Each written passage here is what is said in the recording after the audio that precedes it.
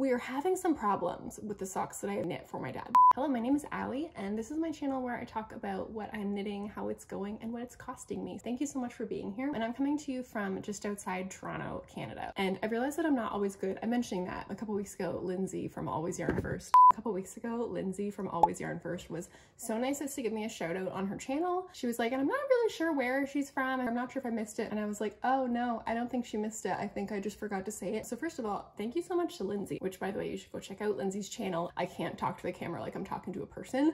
Um, so I have to edit a lot. And then there are people like Lindsay who sit down and hit record and talk to you like you're just like hanging out with a friend. It's just so nice and relaxed and I don't understand how she can do it all with so few cuts. Also, similar category, I want to shout out Haley from Knit Weekend, who also mentioned me in her podcast, which why are all of you so nice and welcoming like immediately? Was not expecting. And Haley is also delightful. Go watch Haley on Knit Weekend. She has an adorable cat who makes appearances. And if you've been here before, you know that my dad is a frequent mention on the channel. I'm always knitting him socks. He made me these bookshelves, etc., etc.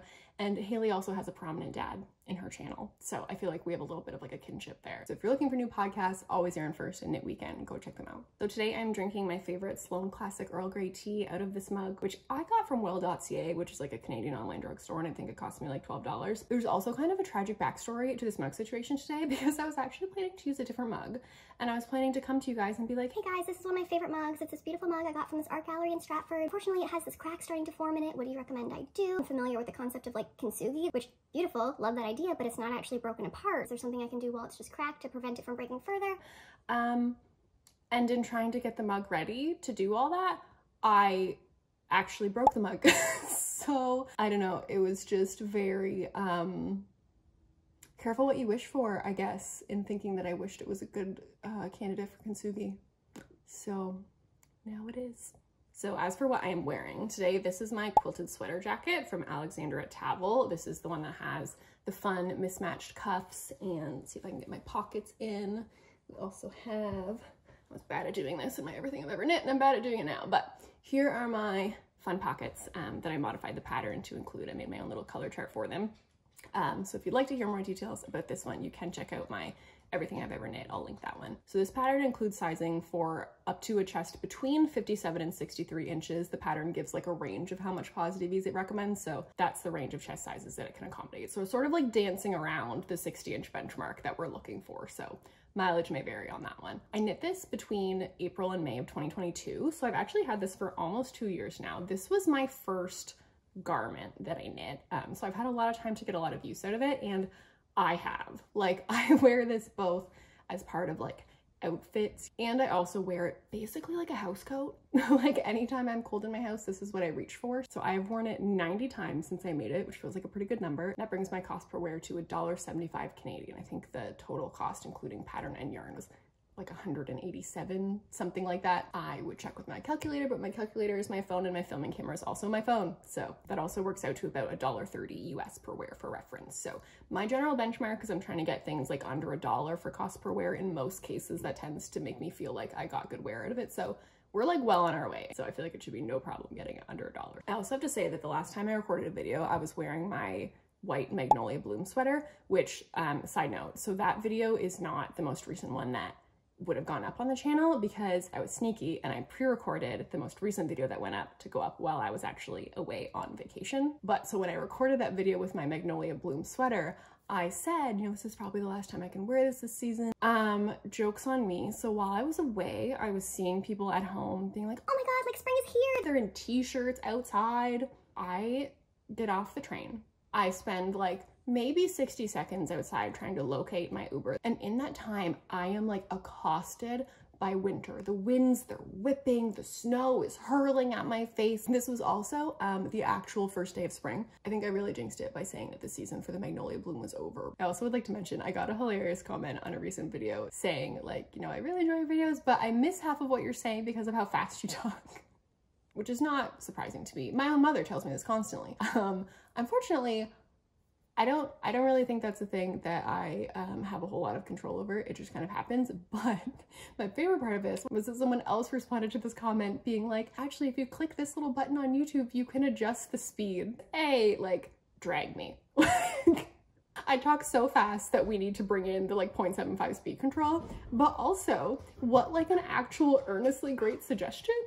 so like, I can accept that the speed at which I talk is a problem for some people, but if that is in fact a problem for you, good news, here's how you fix it.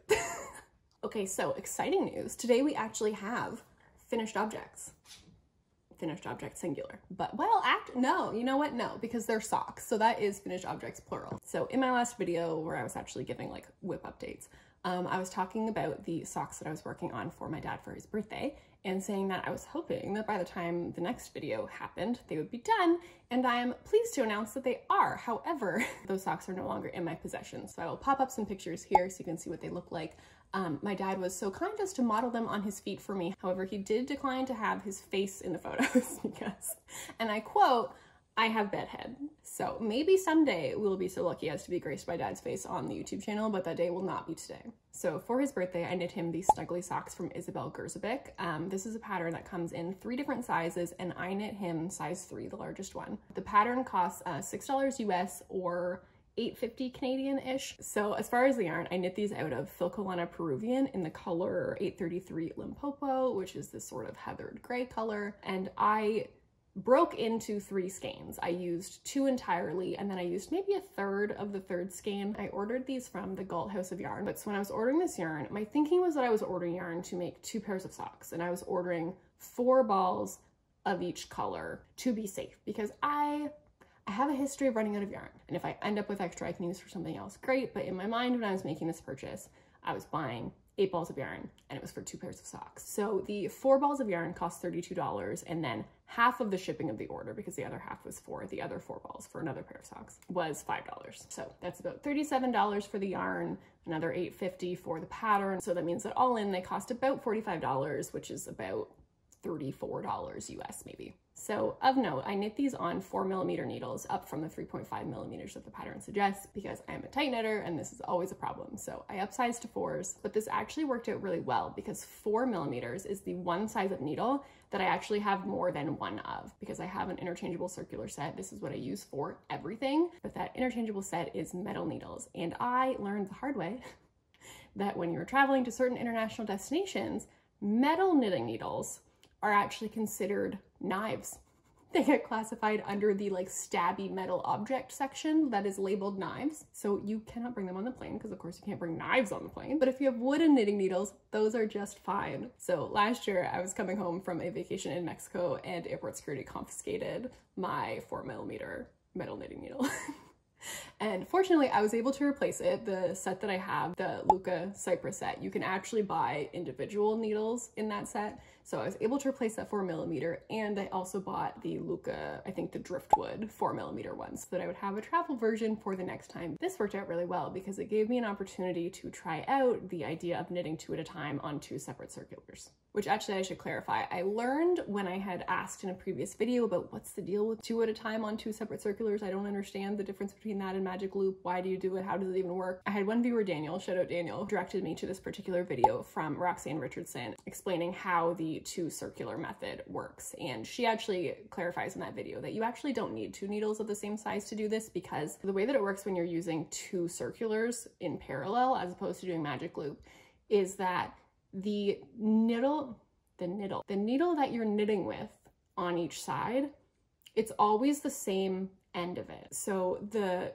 needle that's on the other end, the one that your stitches are just resting on before they get picked up to be knit, it can actually be a smaller size and it will always work out. And that also really puzzled my brain. Like I really had to do it myself and watch it and pay really close attention to like understand how that was happening. However, I'm glad that I was able to test this out easily with two needles that were the same size because the problem that I had was that I am so used to Magic Loop that I kept accidentally grabbing the wrong needle and ending up with it all back on one needle. Like I, I would turn it around and go to start the next section and realize that my second needle had like fallen down beside me because there were no longer any stitches on it.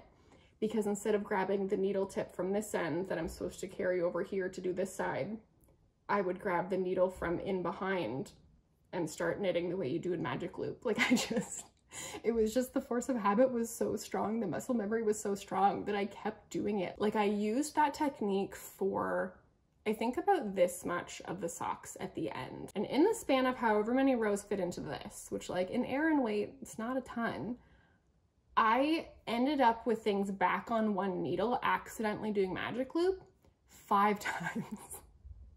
Five times I went, oh no, and had to put my second one like manually back in. Like I had to reset it up. So I, I feel like I can't even accurately assess how I feel about this method because I made it more annoying by virtue of the fact that I just couldn't do it like subconsciously. I kept reverting back to magic loops. So I don't know. I think next time I do a pair of socks, I will probably try it again and see if I can get my brain to override this because I I do think that I could see it being a little bit nicer. I don't think that for me it's world changing, but I do feel like I spent less time shoving stitches around than I do in Magic Loop, but at the same time you are still doing that. It's not that you're not doing it ever, but I think you're doing less of it and it's a bit easier. And I do hate that part of Magic Loop. So that is like a potential selling feature. That is what is motivating me to like see if I can override my like accidental automatic magic looping. Um, so I will try that again, but yeah, I don't think I see a huge advantage in that way. Also, it was interesting working on these with the wooden needles when I went away. So I'd started these socks at home for a couple weeks. I'd only done a little bit of them. I'll actually pop in a picture where you can see the little um, stitch marker that's marking how much I had done the last time I featured them in a video.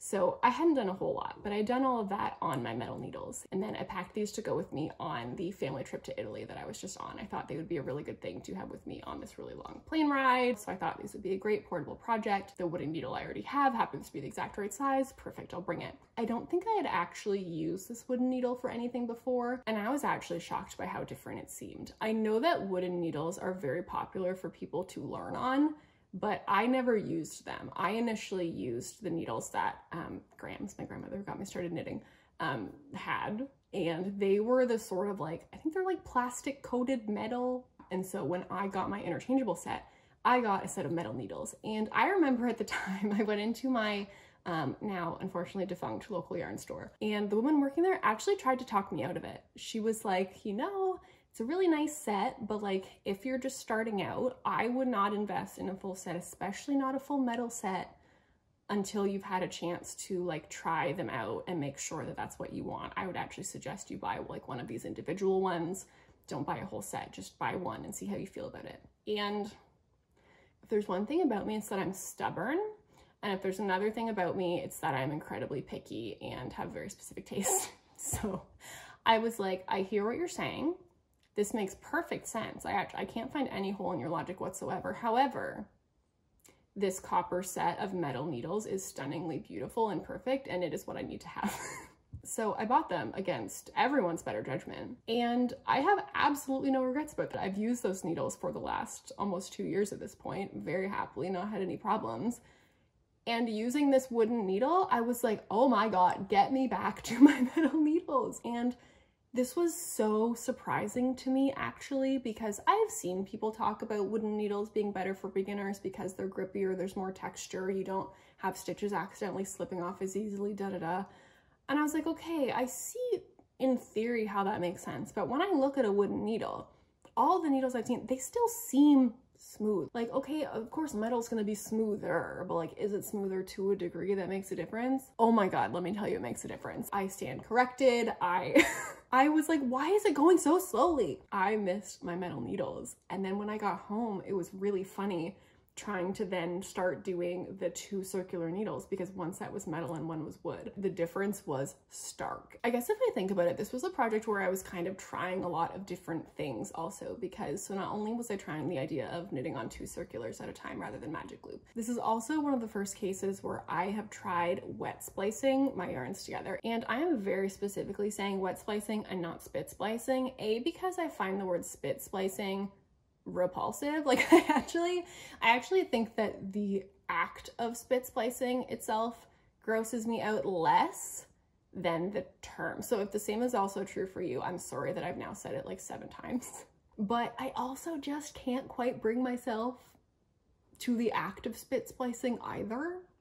So I got a little glass of water and I just did some dunking. And I have like mixed feelings about this The one time I had done this before was with my reading socks and I didn't love it there in part because like those are knit with such bulky wool. And so, okay, it kind of tracks that when you try to wet splice two ends of those together, even if you do successfully get it to kind of match the size of the rest of the strand, it's now twice as dense, which means that the stitch kind of takes on like a more like sculptural three-dimensional shape than the other stitches around it. So it just kind of like stood out a little more than I liked. So I thought, well, maybe it'll work better in an Aran weight. So I tried it again here, but I'm honestly not convinced that it worked any better. And maybe this is just me not being good at wet splicing. I kind of, I got them wet. I kind of pulled apart the, the plies of yarn at the end so that I could sort of like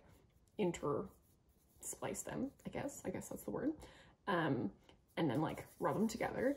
And it just, it just still seemed a bit chunky. When I was knitting with it, it just felt like it was behaving weird. And then I do think that it improved with blocking, but I can still see where it is. So I don't know, I'm not entirely convinced by that. And I also, this is just a me problem, but I really like hated the feeling of like this wet wool then like rubbing between my head like oh I just. I don't know I think wet splicing is like a no for me but I'm curious if like the problems that I'm describing, like if you're sitting there being like, oh no, no, no, like you're just doing this wrong, do this different and it'll be great, let me know. Because right now I'm like, why? Why is anyone doing this? I hate it.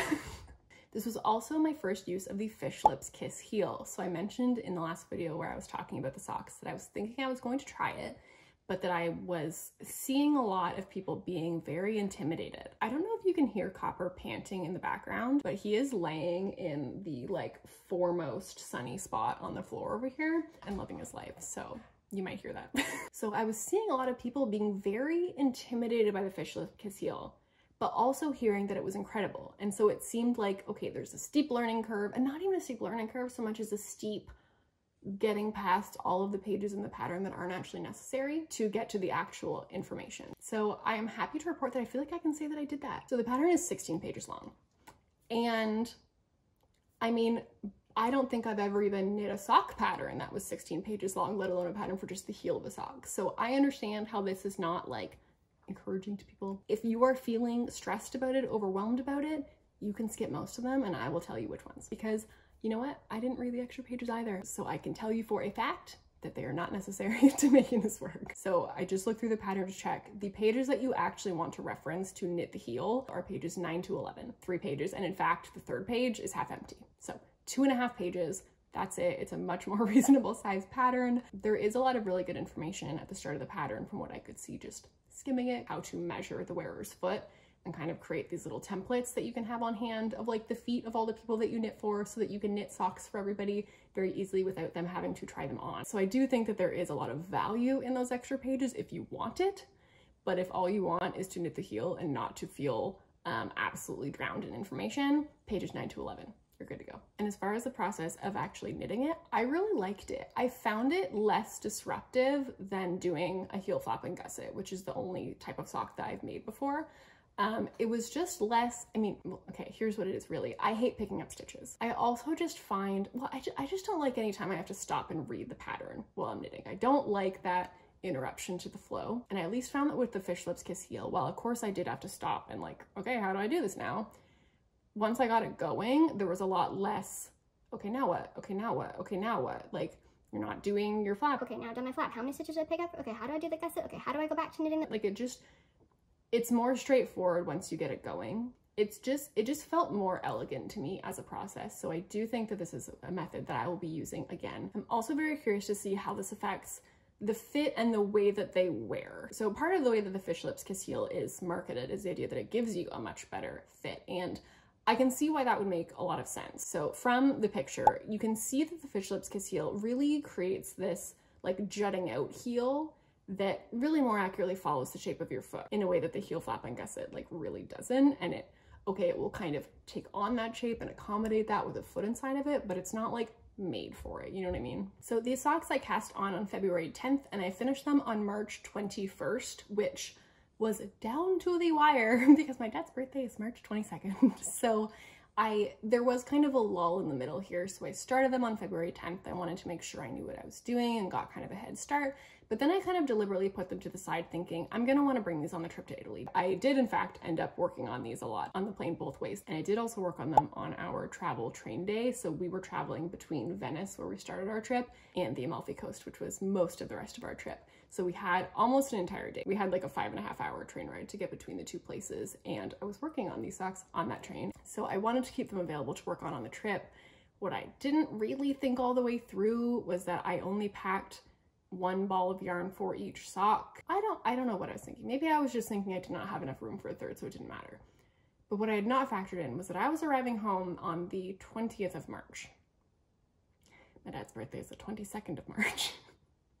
so I did a lot of knitting on March 21st and I blocked it on March 21st and I gifted them to my dad still on the sock blockers, um, still slightly damp on March 22nd, I got to his house with a gift bag and was like, okay, you want to open this sooner than later because um, we're going to want to let these air out. It was down to the wire, but it happened. They they were dry a few hours later, but it it was a close call. So when dad put them on, it does seem like a nice fit. His other socks never seemed like a bad fit, but this is where I need to pick your brain and ask if you have experience in this area because we are having some problems with the socks that I have previously knit for my dad. Let me show you. So, oh no, one just fell behind my piano. I'll have to dig that out later. But so for Christmas, I made him a pair of socks that have been featured on the channel before. And the last time I featured them, they looked like this. See how nice and long the leg of the sock is. And this is a topic we have touched on before on this channel that, you know, the first time that I made my dad's socks, I kind of learned the hard way that um, when something has to stretch widthwise, it gets shorter to a degree that I didn't really understand. So when I was making him socks and I pulled them up on me and they seemed like a reasonable length, when they went on his leg, they became like ankle socks. So when I made him this second pair of socks for Christmas, I knew this and I was like, okay, great, I will knit them longer. It's fine. I got measurements from my mom of some of his other pairs of socks just to know, okay, this is the measurements that it should be and then they'll work well. And when he got them, he put them on and that did work well. They were the right length, all was well. Um, but now he's worn them and critically has not washed them, has not put them in the dryer. Like these are not factors at play. And yet they look like this. Like how, how did they become ankle socks? so backstory. So my dad loves to snowmobile and his favorite use for his wool socks is to wear them on snowmobiling trips. They're really good for this weird situation where you're out in the cold all day long but you are kind of stationary, like you're just sitting on your machine and weirdly kind of your upper body is working as you steer. So you're kind of exerting yourself up here and can get like sweaty on the top half, but your feet are just sitting there, just getting cold. So it's really critical to have good socks. So dad loves the wool socks because they're good for that. And because they're wool, gross fact about dad, he's thrilled that he can wear the same socks for the entire week of his snowmobiling trip. He showed me, he was like, I love the socks, they were fantastic, but could you maybe knit them a bit longer or something because they keep shrinking and i don't understand i was like you didn't put them in the dryer he's like no and i'm like i guess what must be happening is that in his well insulated snowmobile boots they must be keeping in so much of his body heat that it's actually creating enough heat that it's shrinking like i can also see that the bottom is definitely felting. I don't know if you can see that on camera. I can definitely feel it, but the leg has not felted. It doesn't feel that way. It's just short and the foot itself has not shrunk in length either. So, I mean, I guess, so this is obviously all happening while it's on his foot. So it's like the foot itself is keeping the foot of the sock the right size, but it's like this part just keeps somehow like slipping down and down. So I'm wondering if maybe somehow, maybe because of the construction of the heel, this, this is what I'm wondering about with the Fish Lips Kiss heel. Maybe with the construction of the heel, if it kind of wasn't fitting naturally and was kind of causing the leg to just slip under and under to become more and more of the heel, that maybe that's what's happening. Like maybe is the foot supposed to end like here and this used to all be leg and now it's just sort of created an ankle because I'm trying to even see if I can see where the gusset, it's so felted now that it's hard to even identify the gusset, but I'm actually wondering, this might actually be the heel flap and the gusset. I think I see a bit of diagonal action going on here, which would mean the leg has kind of become foot. leg is foot, I think is what has happened. So I'm not sure if that just means that the foot of the sock wasn't big enough in the first place, or is it possible that just because of a heel structure that isn't as natural to the shape of a foot, that just maybe through this series of motions, because it didn't fit naturally, it just kind of kept like slipping in the, in the way that your socks will slip down in your boots sometimes, you know? So maybe it's just that. So I'm curious to see if his new pair of socks does the same thing or if perhaps the fish lips kiss heel helps prevent some of this. I think that the best thing to do will just be to try to add length, which is going to be a little bit unnatural because these were knit cuffed down. So I will just have to pick up stitches and knit the other way. It's not going to be um, beautiful or seamless, but I did check with dad. I was like, form or function here, which one's more important? And he 100% would just rather have socks that are long enough. so I think that's what I'm going to do. Um, but please let me know if this is a thing you've encountered before, if you have any insights on this. Also, I should mention, I got these cute little tags made um, that I can put on garments. So I had these made from a little Etsy shop. I will pop them up here. And they, they were really great about letting me put like multiple different versions just on one sheet. Oh no, I nudged the camera. Hopefully that's like roughly the same. No, it's too high. And then I also had larger ones made to put in garments. They're just made out of this, um, I think like cotton twill material. Um, and then I just sewed them on and they're just like really cute. I feel like it just adds such a cute like finishing touch to things, especially when you are giving them as a gift. I guess when I knit this longer, I will have to remove and reattach the tag higher up, but that's fine. And then back on the sock front, we also have, this was the first pair of socks that I knit dad. So these were the ones that, you know, it was immediately apparent that they were kind of ankle sock, but they have become more so. And I do think, I think we're seeing the same problem. Like I think that I think that that's the, the heel flap gusset area. Like you can see where the um, stitch pattern changes, right, from the ribbing into the stockinette. And you can see that the ribbing has become part of the heel shape. So I think it's not that dad's foot is too big for the size socks that I'm knitting when they start out because they do always seem to fit well at first. But I think the problem must be that with the felting that's happening at the bottom as like the friction is creating heat, that then the bottom is shrinking and so then the leg is becoming part of the bottom. Is there a way to avoid that without the sock being comically oversized when you first put them on before the bottom's felt? Does the little bit of nylon that's often in sock yarn also help prevent felting in this way?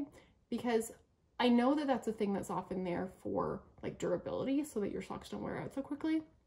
But I'm wondering now if what I'm also missing in using pure wool for socks is that it might also help prevent some of that felting and therefore fit issues over time. I don't know. Please, if, if you know things about socks, if you know this problem, if you've had this problem, if you've fixed this problem, please let me know because I'm happy to fix these socks by adding more length for Dad, but I would like to not have to take back every sock I ever make for him to end up adding several inches a few months later. Okay, so moving on to WIPs, I have to show you the largest project bag. So here's the thing.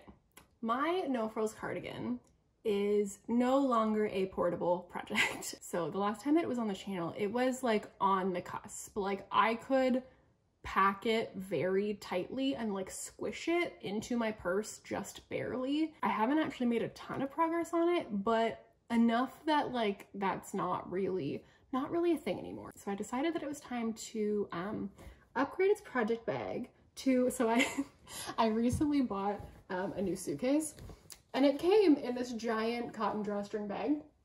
And um, this is now my project bag, which the advantage of switching to this one, because the cardigan itself did still fit in the previous uh, drawstring bag, but it did not fit with all of its yarn and I was like, okay, this is no longer portable anyway. I might as well just start keeping all the yarn with it. And it's also in this like comically large bag, but also like, look how much bulk of this bag is taken up. Like, by the time the sweater's done, I don't think it's gonna seem that unreasonable. So if you are not aware, I am knitting the No Frills Cardigan by Petite Knit, which is intended to be like a, I keep saying floor length. I was watching, I think it was AKA Nora Knits. She's also knitting a very long cardigan and she referred to it as duster length and I was like oh yeah that's that's what it's called. That's that's what I'm supposed to be calling this. This is a duster length cardigan. Well not now but it will be. And so it's gonna be real big.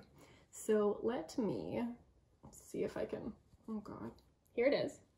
And we can see down here, this is my stitch marker from the last time that I showed this on camera. So we've got another few inches, so not a ton. I was mostly focusing on dad's socks. Um, I just did a little bit before I left, and since I've gotten home, I think honestly most of this I did yesterday. I think I was about here when I started working on this yesterday, but I worked on this for like a lot of yesterday. so last time I tried it on and felt like, okay, this is where, if this were a regular sweater, I would be starting the ribbing. It would be like almost done. So let me try this on and we can see.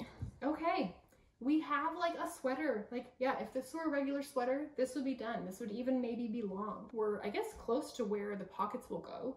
Um, I do believe the pockets are afterthought pockets, but I will probably do them as a mid-project thought rather than an afterthought just to get them over with. Um, so once I'm done the pockets, it'll just be like, keep knitting until the ankles, except that um, I am thinking that I probably will want to do, again, like a mid-project block just to make sure that the length is coming out the way that I think it is because I don't, there's just like a lot of potential for gravity to be a thing on this project. There's just, there's a lot of fabric that could weigh itself down. So I think it's going to be important to check that before I bind off and maybe find that the sweater is like a foot longer than I want it to be and I'm walking on it. That would be unfortunate. So I do think that will be important, but I'm feeling like it's probably about halfway there, which is good and I hope is accurate because I think I have just finished half of my balls of yarn of the merino. If I'm not halfway done, we might have a problem, but fingers crossed. So this project is the No Frills Cardigan by Petite Knit. I'm knitting this in a size extra small, and the pattern includes sizing for up to a 59 inch bust. So like A minus on size inclusivity, you know, not bad, but we could always see better. So this pattern costs 45 Danish kroner or about $9 Canadian. And I'm knitting this out of the Knitting for Olive Merino in the color Mustard as well as the We Are Knitters Touch Me Mohair, also in the color mustard because that was nice of them to coordinate. Um, and again, as discussed, not, not mohair, it's mostly alpaca, don't be fooled, but they're really nice combo together. They give me this nice sunny yellow that I was looking for. I searched far and wide for a combo that was the color that I wanted. Immediately, I got an email from We Are Knitters one day being like, Our mohair is on super sale.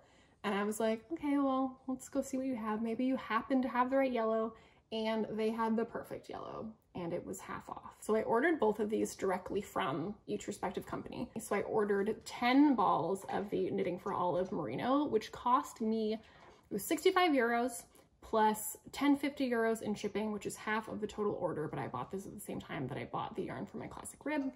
Um, and I also got hit with duty on that one, so I paid 19 Canadian dollars in duty, um, which again is about half because the total order had other yarn. The We Are Knitters one cost me 83.60 Canadian, but I do believe that was half off or at least very close for eight balls of this. So noteworthy, these are huge. Um, this is 50 grams or 400 meters, um, whereas the Merino is 50 grams or 250 meters. So this is almost double this. Um, I ordered eight of these to be on the super safe side. If they hadn't been on sale, I probably would have ordered seven and still felt like that was probably safe. But again, I seem to always somehow run out of yarn. So I thought, let's be really, really safe. Um, so it'll be interesting to see how much of this I end up with in the end. But all of that all together, I paid $17 also shipping on these. So everything in, once you add up all of the yarn, I spent about $230 on yarn. Um, with the pattern, it's about $240 Canadian, and that converts out to about 175 US dollars. Also, you can thank my new giant project bag for the fact that I had these ones that are still untouched and nicely labeled to show you because they were conveniently in my project bag and not, you know, on another floor of my house. As always, I'm not knitting these on the needle size that is written in the pattern. I am knitting on a 4.5 millimeter needle rather than the 4 millimeter that is recommended and that is getting me perfect stitch gauge. The question mark is the row gauge. So my row gauge was coming up a little bit off. I had more rows than there were supposed to be within the four inches, but I chose to go ahead with it anyway. A, because I feel like the row gauge is not super critical in a pattern like this, and as confirmed by the fact that I've tried it on now, and the sleeves fit great. I feel like the sleeves is the one area where you might run into an issue if your row gauge was really off. And other than that, I can just keep knitting until it's the number of inches I want it to be. So that's not a problem. But I'm also thinking that there's a very good chance that because this is such a long piece, that gravity will make up the difference for me once the cardigan is knit in its entirety. So we'll see how much that's true. We'll see how much blocking does or does not affect it. I'm hopeful that that will come up about equal to. If it doesn't, I think this is where I often run into the problem of running out of yarn because part of my tight knitting, tight gauge, is that I just end up needing to knit more stitches than other people do to make up the same amount of fabric. So I'm hopeful that I have enough this time that that won't be an issue. However, um, famous last words. So in terms of style, in addition to being a duster length cardigan, um, it's also a raglan style and it's knit flat because it's a cardigan um, from the top down. And it is just all over stockinette with this really simple um, two stitch raglan. And I just think it's going to be a really nice, like simple staple piece in structure but in this fun pop color that I think is going to be really nice to have in my wardrobe. I do love fun colors. So I'm looking forward to it being complete, um, but I think forward is really the operative word there because we're looking very, very forward, very far. Like I, it has taken me almost three months to get this far. So if I'm hopefully halfway done, we're looking at another three months probably. I do also want to circle back though on some things that I mentioned about this in my last project update. So last time I mentioned that I had this weird issue where I found like a strange loop that I couldn't figure out how to resolve. I had noticed like a weird imperfection in the fabric and I had dropped the stitch down to try to fix what I assumed was just maybe I had caught only one of the two strands or something. And when I dropped it down, I found that instead of a ladder that I could pick up as usual, I just had a loop. And I showed footage of this. I showed me being like, what's going on? Help. And let me tell you, I had no idea how quickly, having a knitting YouTube channel would be so helpful to me because you seem to know the answer to everything. I don't know, like just the, the knowledge in this community and the willingness to write comments explaining things to me is just thank thank you. So last time I showed this problem, I had three separate people. I had Palak, Amanda, and JS each commented saying, I think what you have is an accidental short row it looks like most likely you were knitting a row, put it down mid-row, came back to it, and accidentally picked up from the wrong side. So instead of having knit along your row, paused, picked it up, and continued knitting along your row, you had knit along your row, picked it up accidentally from the wrong side, and knit back this way. And that's what creates that little loop. And this makes so much sense. Like I, this, this is something that I am typically diligent about. I don't usually have this issue. I usually pick it up and say, okay, which side is my working yarn on? Where is it coming from? Where does it need to go? Great. But I can very much see how in the course of the hundreds of rows that make up this cardigan, I can see how one time I would maybe not have been paying attention and picked it up the wrong way. So this makes perfect sense, gives me further incentive to look out for this in the future. And just like this was such a mystery to me. So thank you so much to the three of you for explaining this to me because I never would have figured this out. I, I had no idea. I was so perplexed by it. So if you also were perplexed by it, now you know. So unfortunately, I also learned by learning this that the only way to actually fix that is in fact to frog back. There is no way to like pick it up in a way that's going to solve the issue because a weird thing happened. You just do have to rip back if you actually want to resolve it. But I decided not to. I decided to just kind of like pull on the stitches on either side to even out a bit. I also had asked in that video when I when I didn't know what the problem was, but I was like, is this worth ripping back and frogging? And the consensus very much seemed to be absolutely do not go back. That will block out just fine. Don't worry about it. So thank you for reassuring me about that. I feel like it's the right decision. I feel validated in that. I had also asked in that video about the underarm issue because I've been talking about how like I do try to be diligent in my underarm hole pickups to pick up extra stitches as much as I need to make sure that I'm getting really good coverage around the perimeter and then I will just decrease stitches as needed to get the right stitch count. But I feel like even when I do that, I still end up with some holes in the armhole. And I was like, I, this just like drives me out of my mind. Am I the only person who seems to care about this? Why do I not see more people talking about this? And I asked whether anyone had recommendations for a solid tutorial on how to avoid doing this. And again, there is a consensus. So four separate people, Suli, Amanda, Jillian, and Camilla all said Roxanne Richardson, who again, you'll remember, she's the one who Daniel recommended to learn how to do the two at a time circulars. So just Roxanne Richardson is queen, presumably for everything. I don't know. We only have a sample size of two, but that, that's the conclusion I'm gathering. So I have not yet watched that video. I'm planning on just doing that the next time I need to pick up for a sleeve on a new project. But just so you know, if you are also having this problem, Roxanne Richardson seems to be the place to go. So I think that's all that I have to say about this one today. And I do think this is going to be the project that I am just focusing on for the next little while. So it'll be interesting to see how much progress I've been able to make by the next time that it's featured on the channel. Okay, my second WIP, very small, very small update. So this is the um, swatch for my Fausta bralette, which um, has not gotten any further than the swatch since the last time that you would have seen it, except for um, ideologically, because in my How I Mock Up My Knits video, I got a comment from a viewer, Shayna, who thankfully was like, are you aware that if you do a provisional cast on in ribbing, you you're gonna see it? Because I had mentioned in that video, I was just talking about different project. I was talking about what I might do with my um, Hedgehog's Fiber swatch that is like perpetually floating around this channel in like a permanent state of uncertainty about what it will become.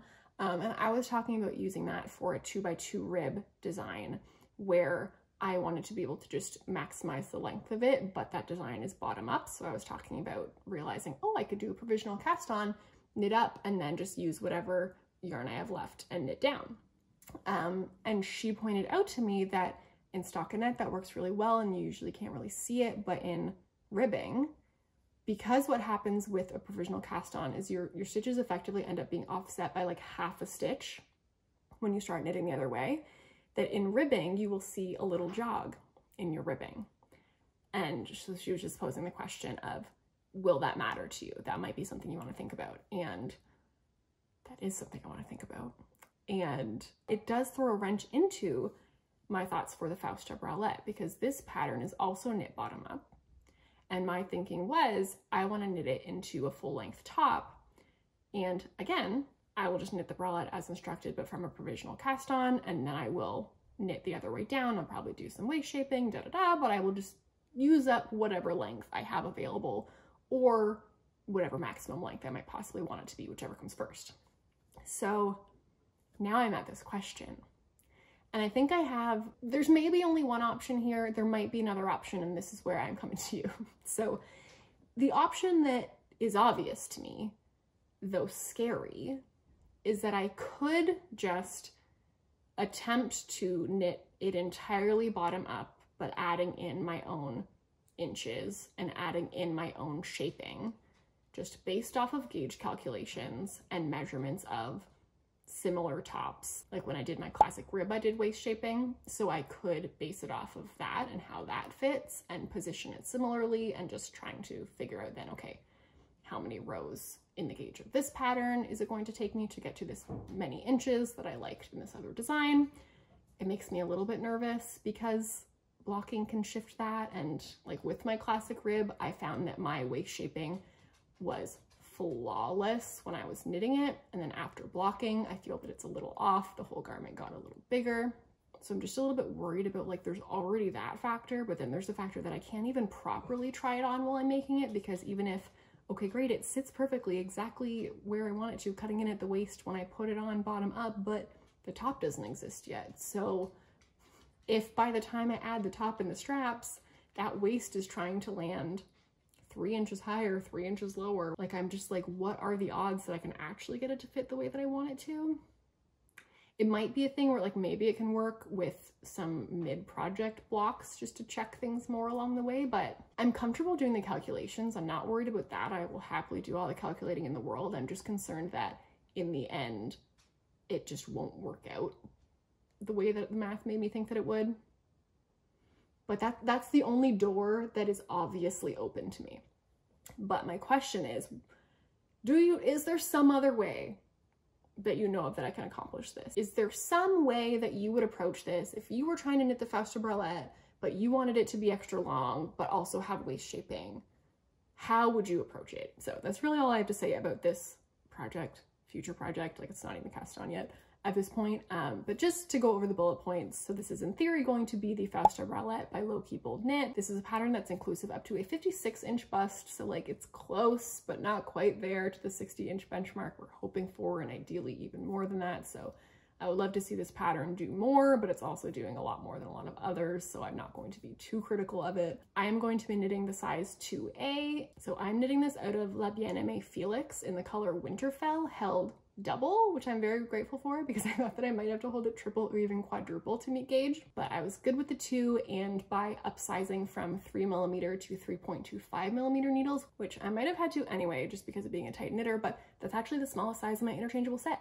And I just wasn't interested in buying another needle that wouldn't fit into my tidy carrying case. So I thought I would try it out and it worked. The pattern itself costs seven euros, which is about $11 Canadian. And this project is a pretty good deal for me considering the materials that I'm making it out of because I got one skein of La Bien-Aimée from my friend Amy in her D-stash. So I only had to buy one other one for the amount of yarn that I'm anticipating needing for this project, though that rarely works out for me the way I think it's going to. So we shall see. But so the one skein I did need to buy cost me um, about $65, which included $11 in shipping. All in, we're looking at a project cost of $75 Canadian once you include the pattern, which is about 55 US. But again, it would be costing almost double that if I were having to buy both of these skeins myself. So that's it for today. No actual progress on this project, just, just a question just maybe maybe even negative progress because I thought that I was ready to cast it on as soon as I finished dad socks. That was kind of my plan. Um, and that that will not be happening until I um, hopefully receive some guidance from you. Thank you. Hello, Ali from the future here, um, and Copper. Copper, would you like to say hi? You'll, you'll give a profile? Great. Um, checking in to tell you that um, this video got really out of control in length. So what I decided to do is to split this video into a couple parts. So the next one is going to have my acquisitions, um, which makes a lot of sense because they are all very trip related. And then for the rest of the video, I really wanted to kind of review my knits in the context of the trip that I just brought them on because they were really useful. I just feel like sometimes we don't tend to talk a lot about our garments after we finish them. And I thought this would be an interesting way to kind of check in with them, see how they're doing, see how helpful they're being. So stay tuned for that. That will be coming up on the channel soon. Hey, Buggy. Spin. Sit. Hi. Hello. Do you want to say hi? Do you want to wave? Yeah. Oh, that's a nice butt. Yeah, show everybody your butt. Okay, so that concludes my knitting content. I have to say, my last video that went up, my mock-ups video, a couple people commented saying that you know, they enjoyed the video, but they really missed the book segment. And my heart is so warm. so like I mentioned, I had pre-recorded that video to go up while I was away. So the time that I recorded it, I didn't have any like knitting or reading updates to share. There were just, there was none of that. It was a video out of time, but it makes me happy to know that there are people who missed this part. So it's back. Today it is time. So as for book finished objects, we have Pumpkin by Julie Murphy. Tagline this year, Prom's a Drag cute rainbow spine. So part of this reading update is actually courtesy of the fact that I ran out of yarn on dad socks on the flight home because our flight home was a daytime flight. So I was really trying not to sleep because I wanted to be able to flip my sleep schedule, but I ran out of knitting to do. And I was like, oh no. So the fact that I ran out of yarn so early in my trip is actually the entire reason that I read in its entirety Pumpkin. I read the entirety of this book between the end of that flight and the drive back to my sister's. We flew into Montreal airport. She lives in Ottawa. It's like a couple hours. And so this book was an absolute delight and it kept me reading and awake when to me, it was like four in the morning, like Italy time. So I don't feel like I can give you a much better testament than that. When I went to bed, I had about 40 pages of this left, which I desperately wanted to finish it. But again, by the time I got to my sister's house where I was crashing that night, it, it was then like five o'clock in the morning to me. And I was trying so hard to read. My eyes were like forcibly closing. I'm like, okay, I'm just gonna have to accept that I'm gonna have to read the last little bit of this tomorrow. And I did, I managed to sleep for a few hours. I took out just a little reading light to try not to wake myself up too much. And I read the last 40 pages and then I successfully went back to sleep until it was like Canadian morning time. So I've read several books from Julie Murphy before. I've read Dumplin' and Puddin', which are the two that are kind of like in the series of this, but they're, they're different characters. It's just kind of set in the same universe.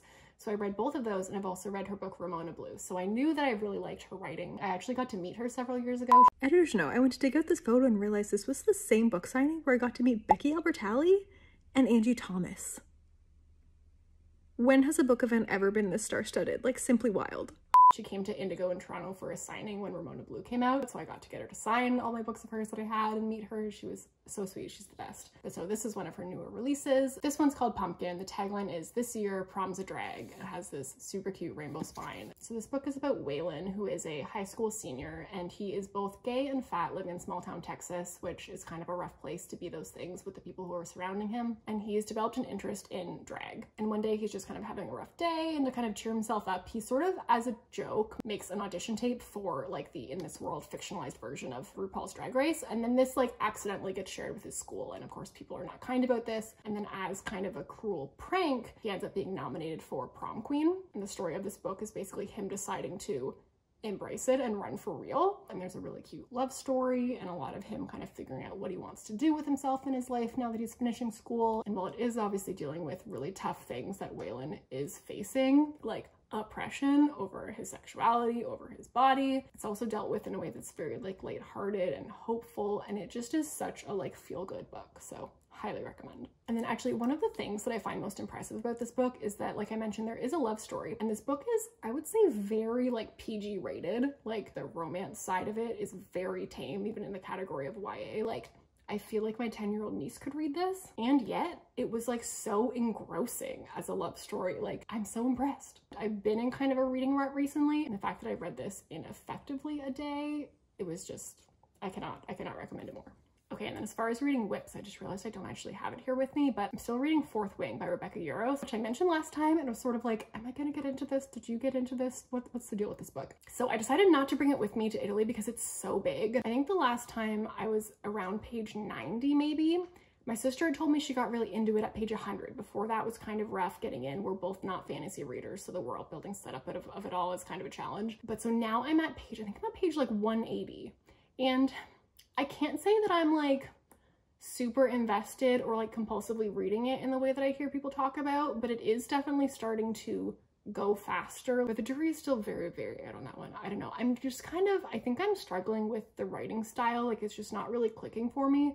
So I don't know, unsure. Okay, now for reading acquisitions. I have, I have reading acquisitions. So still on the trip theme, I picked up this cute little book of Venice. So um, I'll pop a picture here of the bookstore that I got it from. It was cute. It was just this tiny little shop by the Rialto Bridge. So it's just called Venice, but the series is called Panorama Pops. And let me show you.